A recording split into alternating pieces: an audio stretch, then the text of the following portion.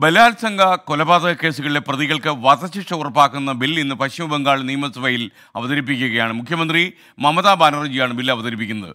സംസ്ഥാന സർക്കാരിനെതിരെയുള്ള പ്രതിഷേധങ്ങളിൽ നിന്ന് ശ്രദ്ധ തിരിക്കാൻ വേണ്ടി മാത്രമാണ് ഈ ബിൽ കൊണ്ടുവരുന്നതെന്ന് ബി ജെ പി അഭിപ്രായപ്പെടുന്നു. ആർ രാധാകൃഷ്ണൻ ഡൽഹിയിൽ നിന്നും അപ്ഡേറ്റ്സുമായി ചേരുകയാണ്. Radhakrishnan good morning. യഥാർത്ഥത്തിൽ ഇത് മമതാ ബാനർജിയുടെ രാഷ്ട്രീയ കരുനീക്കമായി നമുക്ക് കാണാൻ കഴിയുമോ?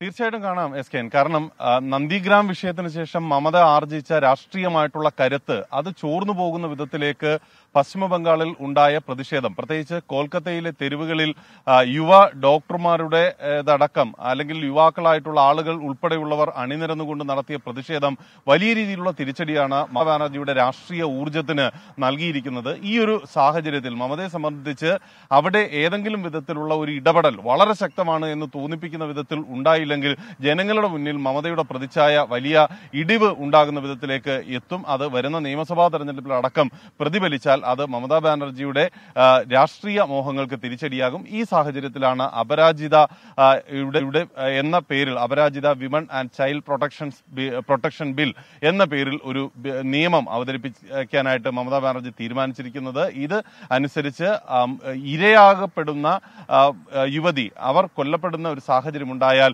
വധശിക്ഷയും അല്ലാത്ത സാഹചര്യത്തിൽ ജീവപര്യന്തവും ഉറപ്പ് നൽകുന്ന വിധത്തിലാണ് ആ നിയമനിർമ്മാണം ഉണ്ടാകുന്നത്. എസ് കെ ഓർമ്മയുണ്ടാകും സുപ്രീം കോടതി ഈ കേസുമായി ബന്ധപ്പെട്ടിട്ടുള്ള വിഷയം പരിഗണിക്കുന്ന ഘട്ടത്തിൽ മഹാരാഷ്ട്രയിലും കേരള കേരളത്തിലും തെലങ്കാനയിലും ഉണ്ടായ സംസ്ഥാന നിയമനിർമ്മാണങ്ങളെക്കുറിച്ച് പരാമർശിച്ചിരുന്നു. ആ സംസ്ഥാനങ്ങളുടെ നിയമനിർമ്മാണങ്ങൾ മാതൃകയാക്കാം എന്ന് പറഞ്ഞിരുന്നു. ഒരുപക്ഷെ ഇതിന്റെ കൂടി അടിസ്ഥാനത്തിലാണ് മമതാ ബാനർജി ഈ ഒരു ആനുകൂല്യം മുതലെടുത്തുകൊണ്ട് ഈ നിയമനിർമ്മാണത്തിന് തയ്യാറെടുക്കുന്നത്. ബി ജെ പി ഈ നിയമനിർമ്മാണ നടപടികളോട് സഹകരിക്കും എന്നാണ് അവസാന ഘട്ടത്തിൽ ലഭ്യമാകുന്ന വിവരം. അങ്ങനെയാണെങ്കിലും മമതാ ബാനർജിക്കെതിരായിട്ടുള്ള പ്രതിഷേധം ശക്തമാക്കാനായിട്ടുള്ള തീരുമാനത്തിൽ തന്നെയാണ് അവർ ഉറച്ച് നിൽക്കുന്നത്. ഈ ബില്ലിന്റെ ഭാഗമായിട്ട് സഹകരിക്കുമെങ്കിലും മമത രാജിവെക്കണമെന്നുള്ള പ്രതിഷേധത്തിൽ ഏതെങ്കിലും വിധത്തിലുള്ള ഒരു പിന്നോട്ട് പോക്കിന് ബി തയ്യാറാകുന്ന ഒരു സാഹചര്യം ഉണ്ടാകില്ല. S K